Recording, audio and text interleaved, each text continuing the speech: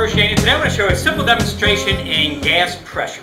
Uh, in this case I have a glass bottle. It's uh, got a stopper that goes into it and it has two tubes that are attached. One tube goes down with a balloon attached to it and a second tube goes down but it's not attached to anything. So here's a closer look at the stopper with the two tubes.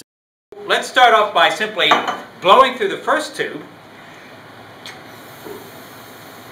I blow into the tube and the balloon blows up.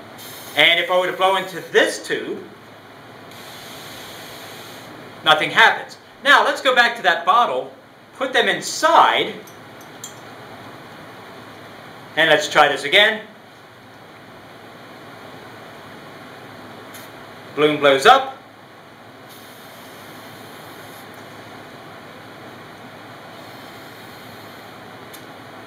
And the balloon blows up once again. So what's going on here? What did I do? so my question is, how did I manage to blow the balloon up both times when it was inside the bottle?